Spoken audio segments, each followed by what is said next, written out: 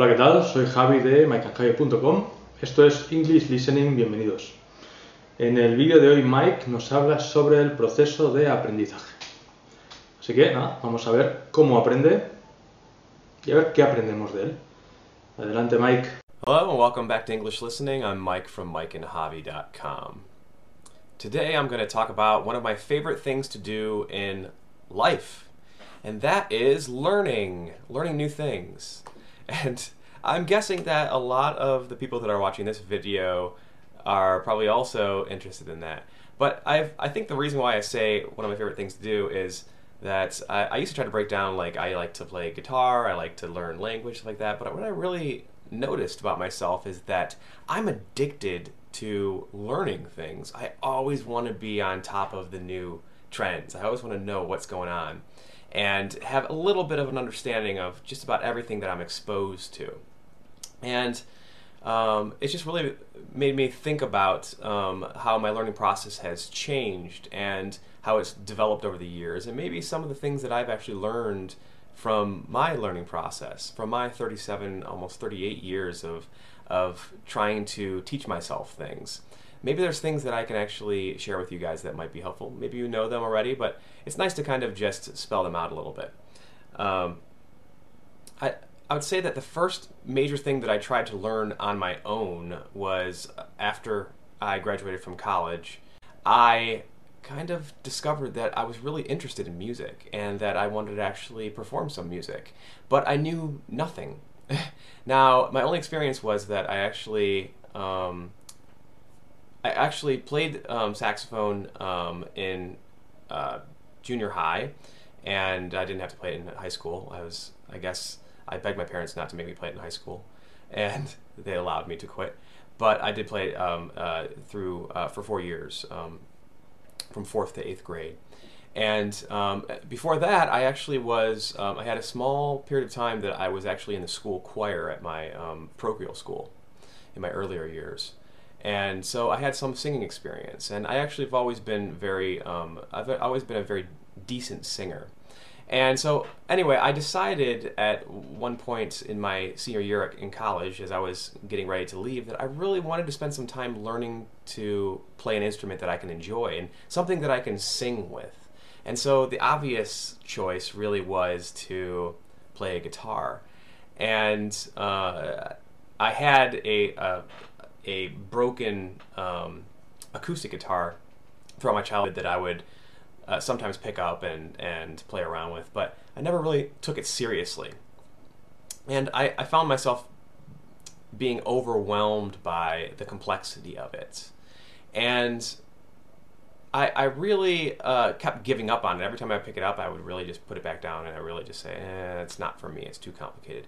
But there was this drive in me to actually learn um, that that kind of kept me kept me picking it up. It, it, it kept me coming back to it.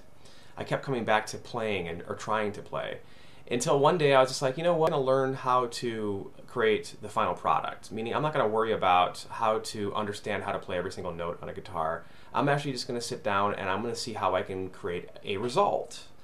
And this really has become the secret, I think, to my learning process, and I'm trying to apply this also to the way that I learn Spanish, for example. And it's it's kind of working for me, but uh, I am a slow learner.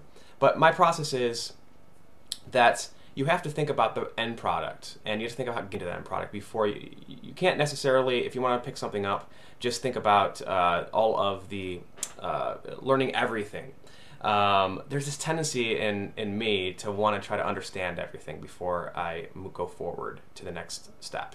And what I've discovered is that the real secret to learning is not doing that at all. It's figuring out what the product that you want to be. What's the what's the end solution that you're trying to get to? Meaning, do I want to be able to um, play a song?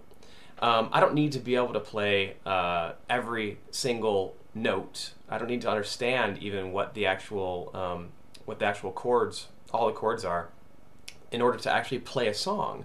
I just need to memorize how to hold my fingers over each of the frets in order to play them.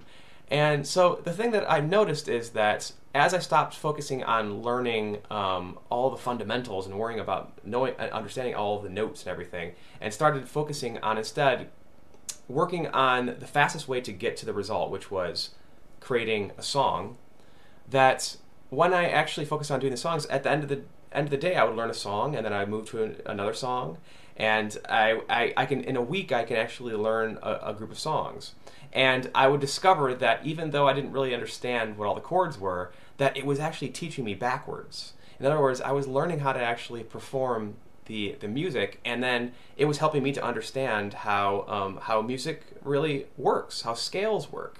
I was just learning it kind of backwards. It's kind of a really backward way of, of learning is focusing on the result. So I just want to, I kind of want to just remind you guys that there is this tendency in me, and I know it's it's common with every with a lot of people at least. I don't know if it's everybody, but to to get frustrated because you just don't understand everything. And I would say just try to break it down into little um, little goals. I would say micro goals. You know, for music, people who are trying to learn music, instead of trying to learn a guitar or how to play every single note, learn how to play a song. Find a simple song and play it. Three chords is all you need to play a song. it's not really that hard to do. So um, that you can you can be playing guitar, uh, you know, very quickly if you just focus on a, a small smaller goal instead of actually trying to do everything.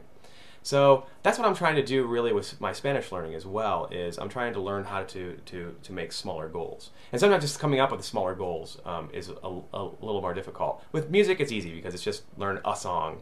Um, I guess with language it would be learn how to um, have a quick introduction um, uh, conversation or you know that might be like a, a, a good uh, small um, goal to have.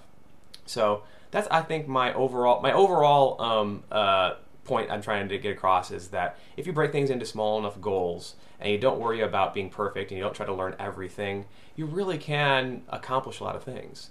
So, guess that's all I wanted to talk about for today, and I will see you guys next time. Muy bien, pues vamos con las preguntas acerca del vídeo. ¿Durante cuántos años tocó el saxo Mike? Segunda pregunta. Eh, ¿Cuándo decidió que quería tocar la guitarra? Tercera, ¿cuál es el secreto de Mike para aprender a tocar la guitarra? Y cuarta y última pregunta, ¿cuál es el mensaje de fondo que quiere lanzar Mike acerca del proceso de aprendizaje?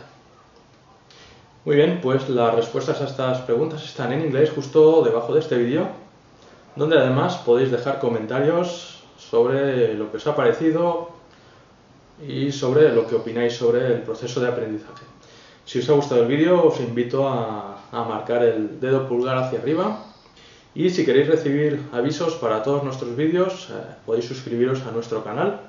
Igualmente os recuerdo que en mikeandjavi.com tenemos todos los vídeos que hemos ido publicando, tanto en inglés como en español, también tenemos eh, un blog textual para cada uno de nosotros y algunos recursos para el aprendizaje de idiomas. De momento esto es todo, nos vemos la próxima semana. Hasta luego.